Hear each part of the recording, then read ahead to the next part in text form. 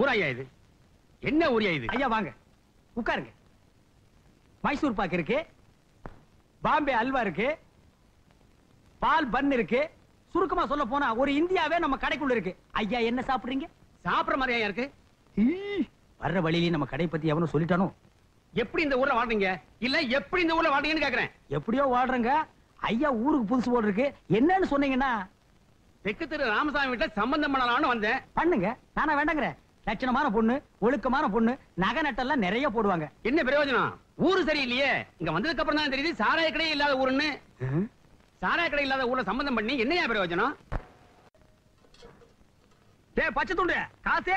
என் கணக்குல எழுதுக்கண்ணே. என்னடா எவன் எடுத்தாலும் கணக்கில் எழுதிக்க கணக்கில் எழுதிக்கன்னா எனக்கு என்ன எழுத படிக்க தெரியாதுன்னு ஏமாத்துறீங்களா? ஏண்டி உனக்கு எழுத தெரியும்? தெரியுது. ஒப்பனை கை நாட்டு. இதெல்லாம் கொடுத்தான். அவன். இது ஒரு நாளைக்கு ஓட்டையாக்கி உன் பொழப்ப கெடுத்துருவேன். கோச்சுக்கிறாரண்ணே ஒரு டீ போடு. டீயா? கடல்லாம் கிடையாது.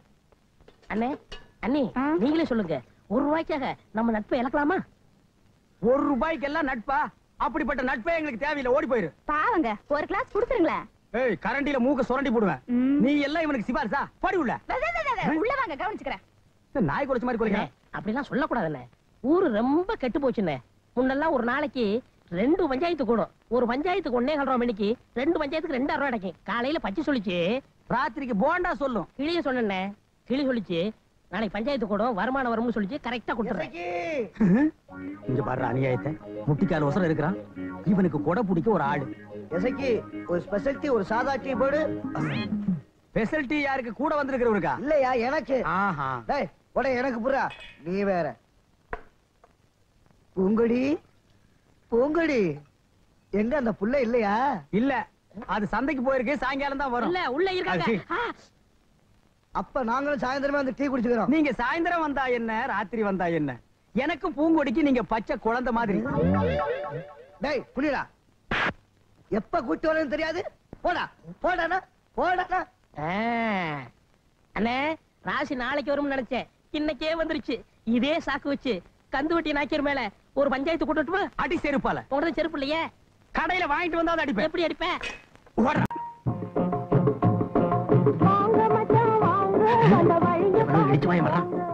வா பொண்ணுறங்க வணக்கம் வணக்கம் எசக்கி ஊர்ல இருந்து சொந்தக்காரங்க வந்திருக்காங்களா? ஆமா.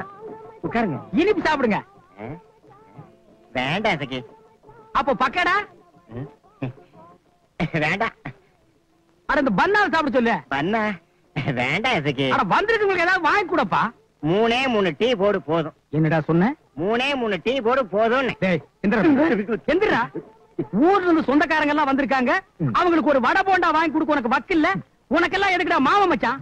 டேய் எவன்டா இவன் தங்கச்சி கட்டினாங்க இந்த சாக்க வச்சு அவளை ஊருக்கு அனுப்பிச்சிரு. போங்கடா. போங்கடா. போங்க இன்னைக்கு கடை காலிடா.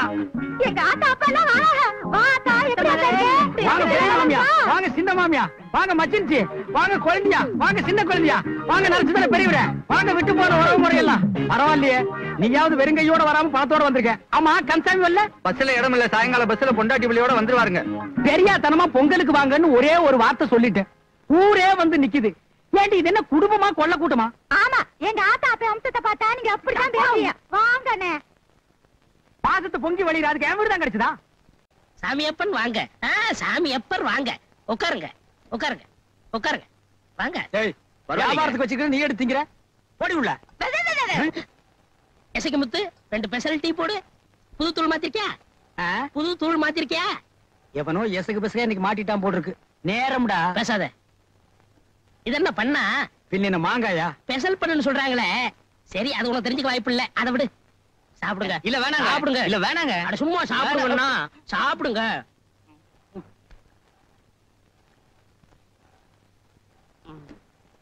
இது என்ன அல்வாவா?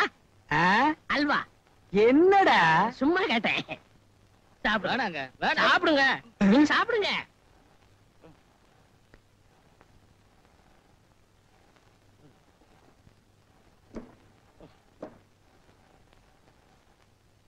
ஏய்?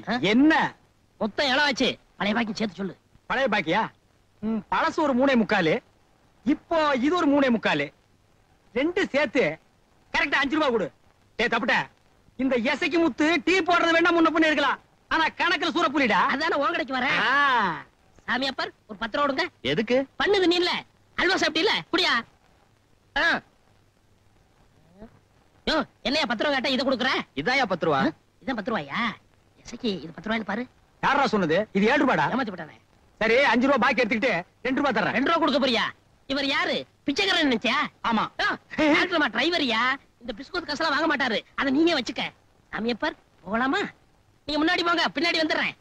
அந்த பிச்சை காசை கொடு. இந்த பிசுகோத்து காசெல்லாம் உனக்கு வேண்டாம். நாளைக்கு வந்து ஏதாவது மேய்ஞ்சிட்டு போ. வந்த வரைக்கும் லாபம். ஆ ஒன்னு அடிக்க வந்துடும் டிரைவர் வண்டி நிப்பாட்டு.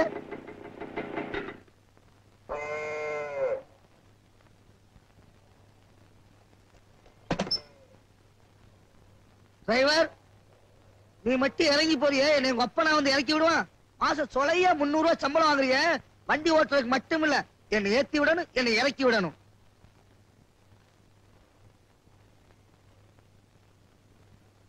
டிரைவர் பின்னாடி வாயா.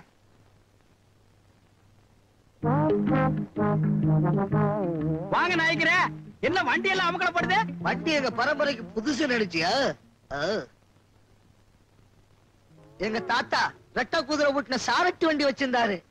எங்க அப்பா ரெட்ட மாடு பூட்டின வில்லு வண்டி வச்சிருந்தாரு. அந்த கௌரவத்தை நான் காப்பாத்தணுமா இல்லையா? காப்பாத்தணும் காப்பாத்தணும்.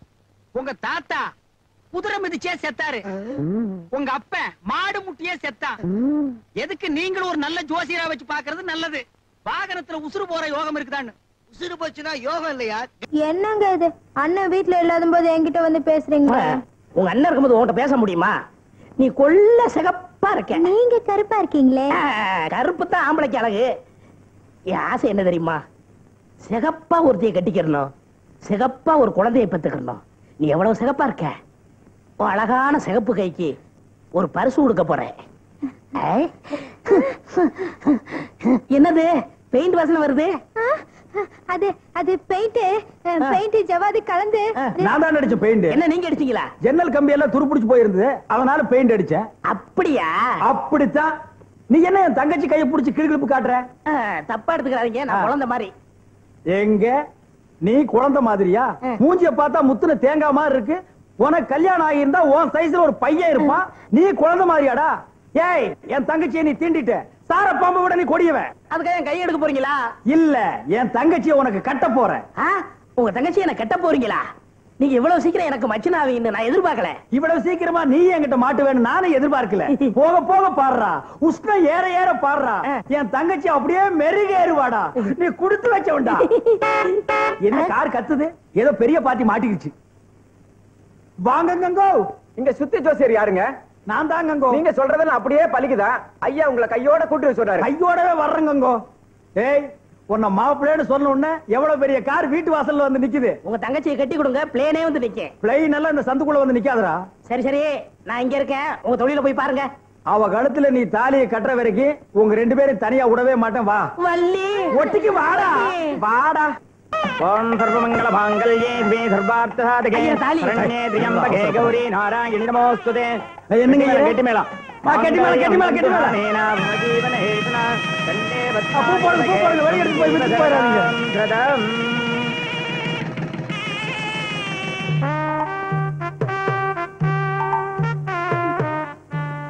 மொத்தத்தை தின்னு முடிச்சிட்டு அப்புறம் தான் முதலிரவா ம், அது இல்ல வள்ளி முதல்வர் அன்னைக்கு ஏதோ பேசாம கற்பனை பண்ணிக்கிட்டு இருந்தேன் இத பார்த்தனா எல்லாம் மறந்து போச்சு? ஆமா உனக்கு என்ன இப்படி வேர்க்குது? அது முத முதல்ல ஒரு ஆம்பளை கூட தனியா இருக்கேன்ல. அதான் இப்படி வேர்க்குது. ஓஹோ அப்படியா? இரு தொடச்சு விடுறேன். ஐயோ வேணாங்க நானே தொடச்சுக்கிறேன். ஓஹோ பொண்டாட்டி புருஷன் தொடக்க கூடாதுல்ல ஆமா ஆமா அது என்ன உனக்கு மட்டும் சிகப்பா வேர்க்குது? உங்க உங்க கண்ணு செவந்து இருக்குங்க. அதனாலதான் உங்களுக்கு அப்படி தெரியுது. கண்ணு சிவந்திருக்கோ? ஆமா. விளக்க நீங்க முதல்ல விளக்க நினைக்கிறேன் அப்புறம் ஒண்ணு நினைக்கிறேன். ரொம்ப நாள் கற்பனை சிக்கிச்சா சிக்கு சிக்கிச்சா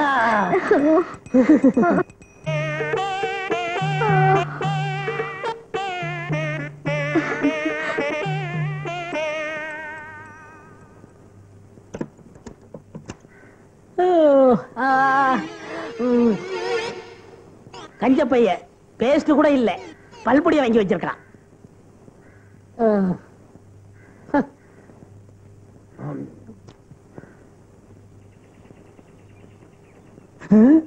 எப்படி இவன் பெயிண்ட் ஒட்டிக்காம பிரிஞ்சு தனியா வந்தான்?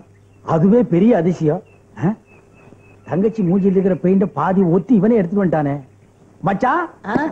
என்ன பல்லு விளக்குறீங்களா? இல்ல பால் இறக்குறேன் பார்த்தா தெரியல. ஆடே அப்பா மாப்பிளை ஆகிட்டாலே மிடுக்குதான். விழுக்குதா இந்த நீரியான கொட்டாய் விட்ட மாதிரி. வாந்தியா எடுக்கிறான். சிவப்பு கலர்ல ஆயில் வந்துகிட்டு இருக்கு.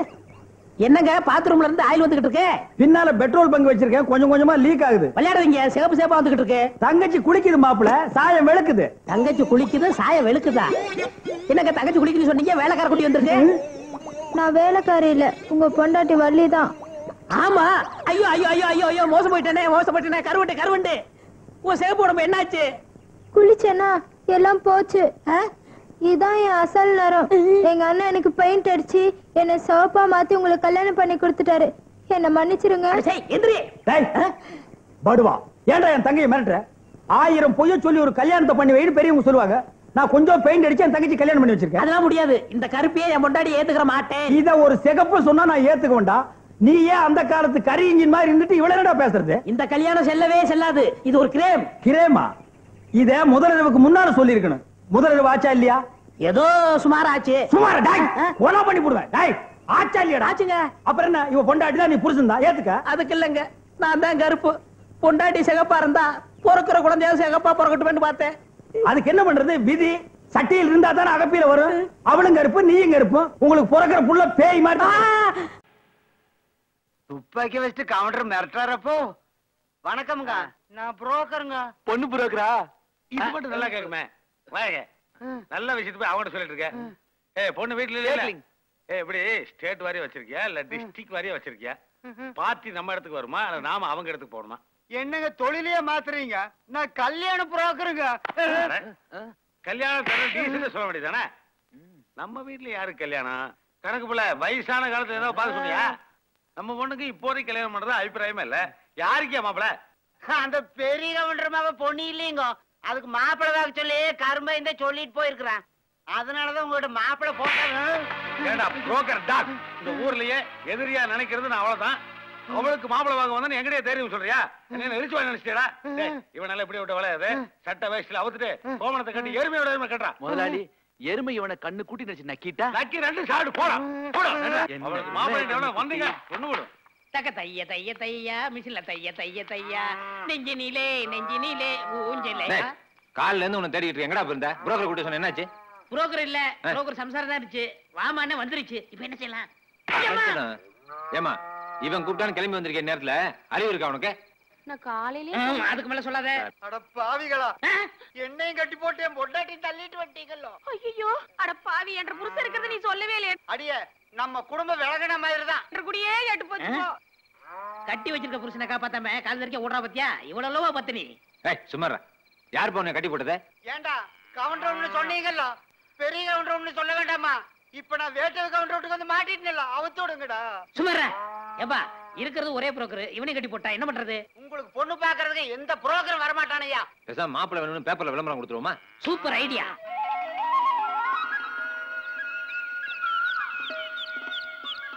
விளம்பரம் சூப்பரா வந்திருக்கேப்பா. ஏய் என்னடி பண்ணிக்கிட்டு இருக்கீங்க? சீக்கிரம் நேரம் ஆகுது செட்டியாரே இன்னைக்கு சமையல் சூப்பரா இருக்கணும். வரப்போற மாப்பிள பொண்ணு சூப்பரா இல்ல பொண்ணு விட்டு சமையல் சூப்பரான்னு பட்டிமன்றமே நடத்தணும். நடத்துறோம். கல்யாணத்துக்கு கண்டிப்பா பட்டிமன்றம் நடத்துறோம். திண்டுக்கல் லியோனிய கூப்பிடுறோம். நம்ம சாலமன் பாப்பாய கூப்பிடுவான். அவர்தான் ஃபேமஸ் முதல்ல கல்யாணத்துக்கு வளையப்பட்டி தவுள் வைக்கணும். அப்புறம் பொண்ணு கட்டி கிட்டார் வைக்கணும். கிட்டார் இல்லாத வயலின். ஏதோ ஒண்ணு. வயலின்னு வச்சுக்குவோம். நாமகிரிப்பட்ட நாதஸ்வரம் வச்சுக்குவோம். அதுக்கப்புறம் திருப்பணத்துல தனித்தனி பட்டுப்படம் வாங்கணும். அதுக்கப்புறம் என்ன? ஆண்டி மடம் கட்டின கதையா நம்ம ரெண்டு பேருமே பேசிக்கிட்டு இருக்கிறோம். இன்னும் பஸ் வந்த பாட்ட காணோம். நேரம் ஆகுது இல்ல அலங்காரம் பண்ணிக்க வேண்டாமா? என்னம்மா தேரடியில தேர் நிக்கும் போது எப்படி வேணாலும் நிக்கலாம். ஆனா திருவிழான்னு வந்துட்டா அதை சோடிச்சாதான் நல்லா இருக்கும். அது தேருக்காக இல்ல உள்ள இருக்கிற சாமிக்காக. உன்னை பொண்ணு பார்க்க வர்றாங்களா கண்ணு? போடா கண்ணு. போடா ராஜா முடியாது பாட்டி. யார் முடியாதுன்னா என்னப்பா. கல்யாணம் கண்டிப்பா நடக்கும். ஊர்கார பையங்க மாப்பிள வரத கெடுத்து போறான்னு சொல்லி தானே ஊர் இலையில வந்து உட்காந்துருக்கோம்? உட்காந்துக்கிட்டு இருக்கிறது சரி. இந்த இலை கொடுத்த பசங்க இன்னும் காணாம இந்த ஊருக்கு வரதே மூணு நடை. வழியில எங்கேயாவது படுத்துக்கிட்டானா? ஏய் அபசகரமா பேசாத. நல்ல காரியத்துக்கு வந்திருக்கோம்.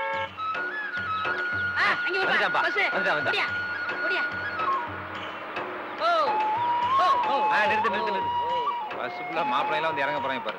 ஆயிரம் சொன்னாலும் சரி என்னால முடியாது. முடியாது முடியாது. வாங்க. ஐயோ உடனே கும்பிட்டேன் என்னடா பெருசுங்களா வந்து இறங்குது? இவங்க எல்லாம் சுதந்திர போராட்ட தியாகிங்க. இன்னைக்கு ஒண்ணாம் தேதியில. அதான் பென்ஷன் வாங்கிட்டு போகுதுங்க. வீணா வாதம் பண்ணக்கூடாதுமா? இது வாதம் இல்ல பாட்டி பிடிவாதம் எனக்கு பிடிக்கல. அதுக்காக பச்சை தண்ணி கூட பல்ல படாம இருந்தா எப்படி? கொஞ்சம் சாப்பிட்டு சாப்பாடு வேண்டாம். ஐயோ எனக்கு சாப்பாடு வேணும் வேணும் வேணும்ப்பா. ஏப்பா மணி மூணாச்சுப்பா. வாப்பா சாப்பிட்டு வந்துடலாம் டேய் நம்ம சாப்பிட போன நேரத்துல மாப்பிள்ளை யாராவது ஊர்காரங்க கெடுத்து போவாங்கடா. மாப்பிள்ளை வந்ததுக்கு அப்புறம் தான் சாப்பாடு. என்னது? எள்ளுதான் எண்ணெய் காயுது எலுப்புளுக்கு நான் எது காயணும் விடுப்பா. ஏய் ஒரு காரியம்னு எடுத்தா பசி தூக்கம் வெயில் எதையுமே பார்க்க கூடாதுப்பா நீ பார்க்க மாட்ட. நீ நல்ல கலரா இருக்க. இதுக்கு மேல நான் வெயில நின்னு வச்சுக்க. ஊர்ல ஒரு பையன் எனக்கு பொண்ணு கொடுக்க மாட்டான். என்ன விடுப்பா. ஏய் சொன்னா கேளுடா நான் கேக்குறேன். என் வயிறு கேட்க மாட்டேங்குதே. நான் வர்றப்பா அண்ணே எப்படியாவது நம்ம ஊர்ல ஒரு பெரிய பணக்காரன் ஆவண்ணே என்ன கொடுத்த ஆசை. என்ன பண்றது? சாமி சிலையை அடிச்சிடலாம். டேய் ஒரு வருஷம் உள்ள இருக்கணும்டா. அண்ணே துபாய்கார பொண்டாட்டி கைத்துல கை வச்சலாமா நிரந்தரமா உள்ள இருக்கணும். அண்ணா கள்ள நோட்டு அடிச்சிடலாமே? கள்ள நோட்டு அடிக்கணும் மூளை வேணும்டா அது பெரிய ஆபத்து. ஐயோ அதை விட ஆபத்து வந்துருச்சு. ஏன் இந்த ஓட்டம் வர்றான்? ஏன்டா என்ன பார்த்து ஓடுறான்? என்னன்னு தெரியல. சொன்னா கேள். டேய் எந்த ஜென்மத்திலையும் உங்ககிட்ட மாட்டவே மாட்டேன். என்னை விட்டுருப்பா. ஐயோ ஐயோ என்ன பள்ளமா இருக்கு? மாட்டிட்டேன். ஏன்டா வர்ற உன்னை கையெடுத்து கும்பிடுறேன். என்னை விட்டுருப்பா. டேய் ஏன்டா இப்படி சொல்ற? யாருக்கு வேணாலும் மாப்பிளை பார்க்க சொல்லு. ஆனா பொண்ணுக்கு மட்டும் மாப்பிளை பார்க்கவே முடியாது. ஏற்கனவே எனக்கு ஊருக்குள்ள கெட்ட பேரு. உன்னோட சேர்ந்து மாப்பிளை பார்க்கறது தெரிஞ்சது என்னை ஊருக்குள்ள கொண்டே வருவாங்க ஒரு நல்லது நடக்கணும்னா நாலு கெட்டது நடக்க செய்யும் அதெல்லாம் தாங்கிக்கணும்டா. ஐயோ சாமி என்னால அடி தாங்க முடியாது விட்டுரு. சொன்னா கேளுடா ஒரு பொண்ணு வாழ்க்கையில விளக்கேத்தி வச்சா ஆயிரம் கோயில் கட்டின மாதிரிடா. தோல்ல ஆட்டை போட்டுக்கிட்டு கையில விளக்க பிடிச்சுக்கிட்டு ஊர் முழுக்க தேடினவனை பாத்திருக்கியா இல்லையே. நான் பாத்திருக்கேன் அது நீ தான். இங்க பாரு உன்னை விட அந்த பொண்ணை கண்களாம பாத்துக்கிறதுக்கு வேற யாரால முடியும்? சொல்லு. அதனால அந்த பொண்ணை நீ தான் கடிக்கிற சச்சா அந்த பொண்ணுக்கு ஒரு நல்ல வாழ்க்கை அமைச்சு கொடுக்கணும். அதான்டா என் லட்சியம். மாலை எப்பயுமே சாமிக்கு தாண்டா சேரணும். பூசாரி ஆசைப்படக்கூடாது. அது தெரிஞ்சுக்க. இப்படி எல்லாம் நடக்கும்னு நான் நினைக்கவே இல்ல. என் மகன் நான் கிழிச்ச கோட்டை தாண்டவே மாட்டான்னு நினைச்சுக்கிட்டு இருந்தேன். நீ கோட்டன்ற? எனக்கு என்னென்னமோ ஞாபகத்துக்கு வருது. உங்களுக்கு வருமே நீ சின்ன கோடா கிழிச்ச? அதான் அவன் தாண்டிட்டான். நீ பெரிய கோடா கிழிச்சிருந்தேன்னா தாண்டி இருக்க மாட்டான். அதை விடுங்க. இப்ப யாரோ சுத்தி ஜோசியர் ஒருத்தர் கூட்டு வர சொல்லிருக்கீங்களே. அவர் என்ன பெரிய ஆளா? என்ன அப்படி கேட்ட நீ? எப்பேற்பட்ட ஜோசியர் அவரு. இப்போ சமீபத்துல எலெக்ஷன் நடந்தது. ஆமா. நம்ம நாட்டுல நிறைய பேர் இவர்கிட்ட ஜோசியம் கேட்டாங்களாம். இவர் சொன்னாரா. கவலைப்படாதீங்க.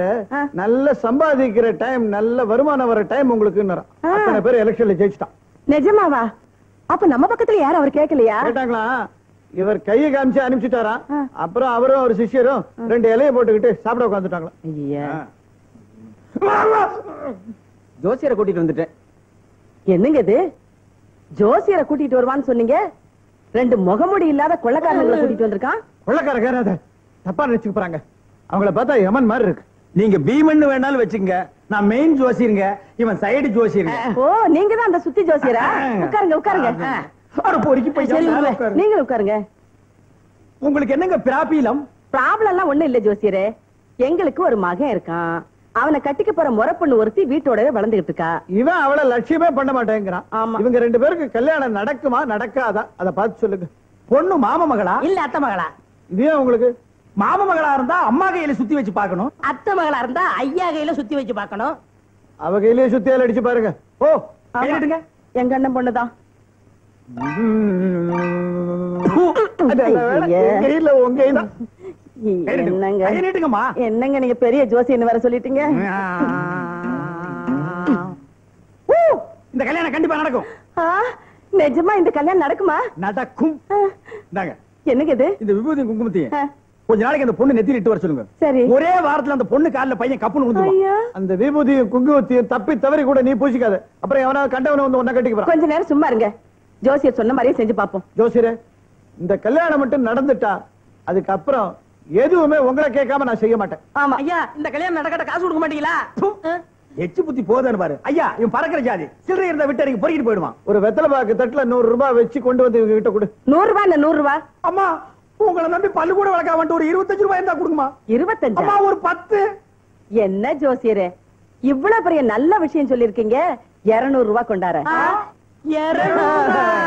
ஜோசியரையா உங்க வாக்கு அப்படியே பலிச்சிருச்சு என் பையன் ரேணு மேல உயிரா இருக்கான். ஆமா அவன் குணம் மாறதுக்குள்ள கல்யாணத்துக்கு நிச்சயதார்த்தம் வச்சுக்கணும். அதனால சீக்கிரம் ஒரு நல்ல நாள் பார்த்து சொல்லுங்க. ஏழாம் தேதி நல்ல நாள். வச்சுங்க அப்படியா? ரொம்ப சந்தோஷம். அன்னைக்கு வச்சிடலாங்க. சரி. என்னடா இது? என்ன? என்ன? கால் மேல இடது கால தூக்கி போட்டு உட்கார்ந்திருக்காரு. அது உங்களுக்கு ஆகாது. ஐயோ இது எப்படி உட்காரணும்? இடது கால் மேல வலது கால தூக்கி போட்டு உட்காருங்க. அப்படிதானே சிசிர் இது பாருங்க ஜோசியர் சொன்னா சரியா தான் இருக்கும். நடக்கும்போது கூட இப்படியே நடங்க. அப்படியே நடந்து போங்க. ஐயோ. எதுக்கு வம்பு? பேசாம நீங்க நம்ம கெஸ்ட் ஹவுஸ்ல தங்கிடுங்க. ஜோசியரை கேட்காம நீங்க எதுவுமே செய்யக்கூடாது. சந்தோஷம். சாப்பாடுலாம் இங்க அனுப்பிச்சிருவீங்கல்ல?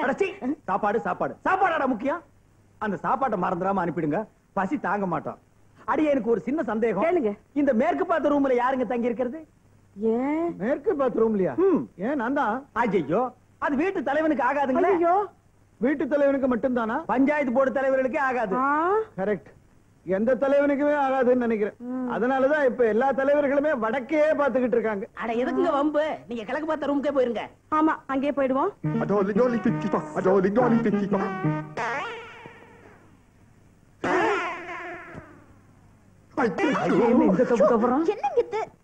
இருக்காங்க.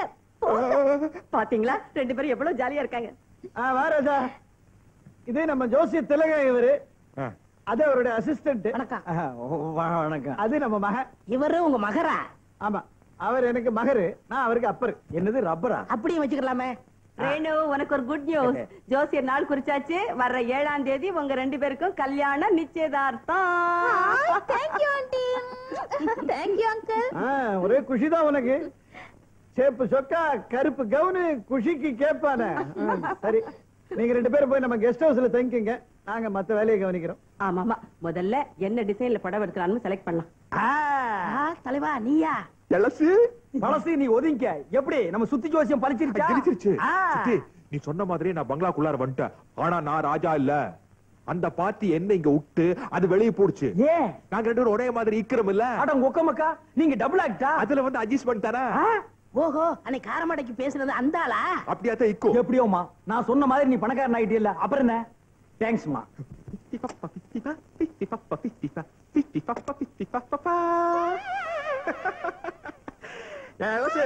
விளையாடாதமா எல்சு? எலசு.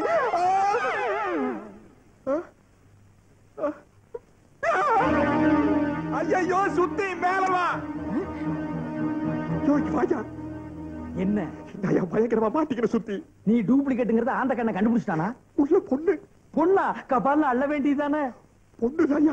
ஆனா போலாம் பொண்ணுமா அப்ப இவனை விட்டு அள்ளு. வேணா. கொஞ்சம் உள்ள வாயா. நான் ஜோசியம் பார்த்தாயா பழக்கம்? இந்த வெட்டியா வேலையெல்லாம் எனக்கு தெரியாதியா? உள்ள வந்து ஒரு தடவை பணத்தை பாருமா. யார் இவன் கதை விடுறான் நான் பணத்தை பார்த்ததுல கண்ணம்மா பேட்டையில அடிக்கடி பார்த்திருக்கேன். என்ன விட்டுருப்பா? ஐயோ மனசு பக்கு பக்கு நடிச்சுக்குது உள்ள வாய. எனக்கு பக்கு பக்குன்னு அடிச்சுக்குது. வா வா. ஆனா ஒரு கண்டிஷன் உள்ள வந்து நீ பணத்தை தின்னக்கூடாது அப்ப நீ இது என்ன வாங்க. எடுத்து கொண்டு போறீங்களே. தோ, தோ. அடடடடடடா. யோ சுத்தி உன் தங்கச்சி விட நல்லா சிகப்பா இருக்கா. கோட்ரு இவளை மட்டும் நான் முன்னாடி பாத்துருந்தேன்னா இவ கடத்துல தான் தாலி கட்டி இருப்பேன் ஐயோ. எறும்பு கூட்ட பார்த்தாலும் தாலி கட்டிலே நிக்கிறாயா ஆ? என்னப்பா இது? ஆ, நான் நினைக்கிறேன் இந்த ராஜா பையன் ஏதோ ஒரு மம்புல மாட்டிக்கிறான் அப்ப இந்த பேப்பரு? ராஜாவுக்கு. வெளிநாட்டு ஃபார்முலா ஃபைலை எடுத்துக்கொண்டு இன்று இரவு பன்னிரண்டு மணிக்குள் வசந்த பங்களாவிற்கு வந்தால் ஷீலாவை கொண்ட பழியிலிருந்து நீ தப்பலாம். நாங்கள் ஷீலாவின் பிணத்தை உடனே அப்புறப்படுத்தி உன்னை காப்பாற்றுவோம். அப்படி நீ வரவில்லை என்றால் இந்த ஷீலாவின் பாடியை வைத்து நீயே போலீஸை சமாளித்துக்கொள். நீ சுடும்போது எடுத்த போட்டோ எங்களிடம் உள்ளது. உனக்கு தூக்கு தண்டனை கிடைக்கிறது நிச்சயம். கருணாக்குப்பா கண்டிப்பா பழிக்கும் கையில விரல் இருக்கிறதெல்லாம் கழட்டி கொடுத்துரு. அப்ப எனக்கு? ஐயர் கடையில தயிர் வடை வாங்கி கொடுக்குற நக்கிட்டு ஓடிடு நான் நினைக்கிறேமா என்ன இந்த வீட்டுக்குள்ள அனுப்பிச்சு வச்சானா அந்த பேம் அடிச்சுப்பா அப்ப வேலையாத்த இக்கோ ஜோசியரே. ஐயோ பேந்த கண்ண வந்துட்டான் என்ன செய்யறது? உள்ளார வந்தா படா பேஜாரா போடுமா? முதல்ல தாடியை மறைக்கணும். யாருக்கு தாடி இருக்கு? பாடிமா ஓ பாடியா டே மண்டையா அந்த போர்வை எடு. என்னையா சுத்துற மாதிரி சுத்திட்டு இருக்கிறோம்?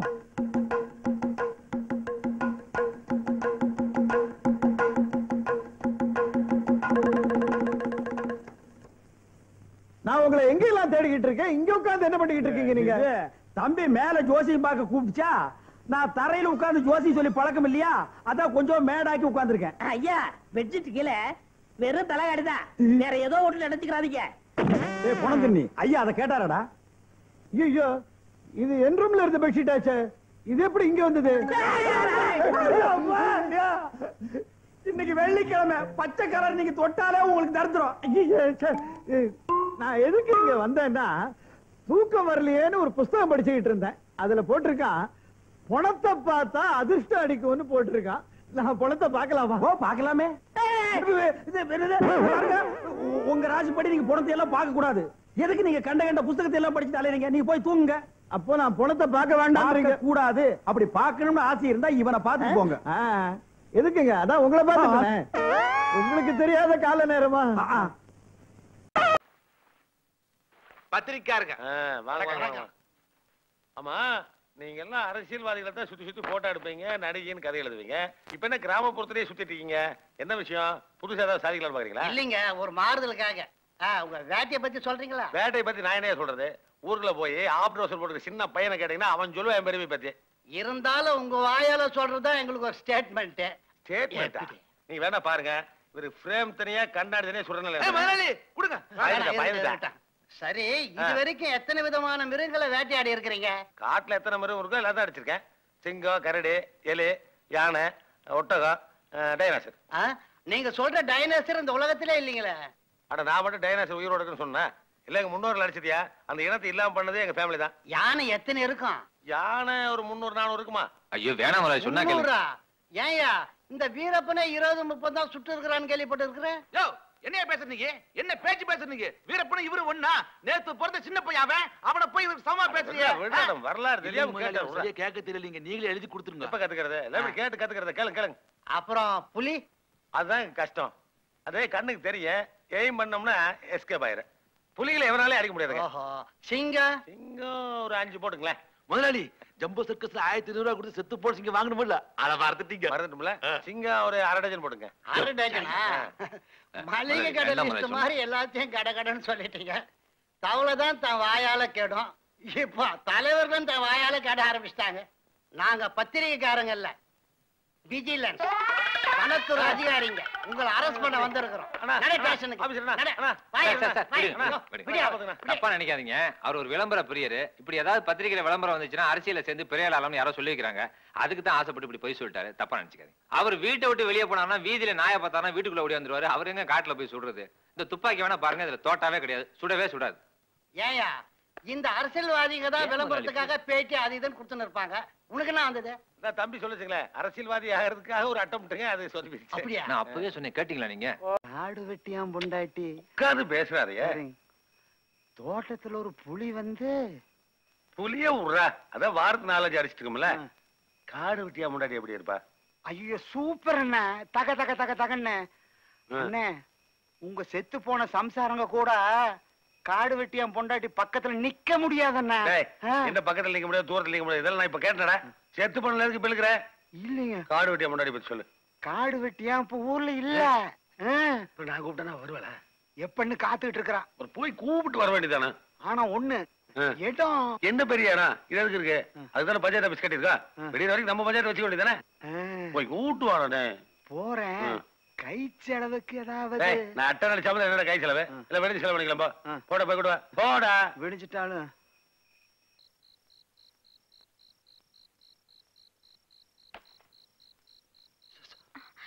சும்மா இரியா பகலெல்லாம் காட்டுல கஷ்டப்பட்டு வந்தா ராத்திரில உன் தொந்தரவு தாங்க முடியலையே. கையை எடியா ஒரு மரத்துக்கு நாலு மரம் வெட்டிட்டு வந்து படுத்துருக்காண்டி என் கை என்கிட்ட தாண்டி இருக்கு. உன் கை இல்லையா அப்ப இங்க? ஐயோ திருட திருட எங்க எங்க என் கையை பிடிச்சி எடுத்துட்டு வாடா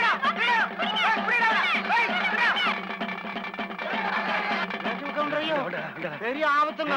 காடு வெட்டிய வீட்டுக்கு போனேன். அவன் முடிச்சுக்கிட்டான். ஊர் சனத்துக்கே தெரிஞ்சு ஊர் சனம் பூரா துரத்திட்டு வருது. நீங்களும் தப்பிச்சுக்குங்க. ஐயோ. என்ன ஊரே திரண்டு வருது? பார்த்தா மானம் போயிருமே. கருப்பூரை போட்டு உள்ள போறா பழி வாங்கிட்டானே பரதேசி புரோக்கர் பைய காலை வாரிட்டானே? அன்னைக்கு கோவணத்தோட எருமையோட ஒண்ணா கட்டினதுக்கு இன்றைக்கு எனக்கு அது கூட மிஞ்சாது போல் இருக்கே. அடுத்த முன்னாடி ஆசைப்பட்டதுக்கு மான மரியாதை போயிரும் போல இருக்கே.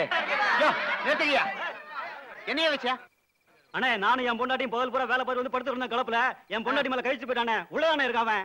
யோ நீ வெடி வெடி கத்தினாலும் வேலையாகாத அவன் சாமானிப்பட்டவன் அல்லோ. ஐயோ யாருக்கு புரோக்கர் வாய்ஸ் மாதிரி இருக்கு? பரதேசி எனக்கு பஞ்சாயத்து வைக்கிறேடா கடப்பாரை போட்டு இட்டீங்கய்யா உள்ள போர்வை போட்டு போத்திட்டு இருப்பேன். முகத்தை பார்க்காதீங்க. அறுவாளோட கொத்தி ஏறீங்க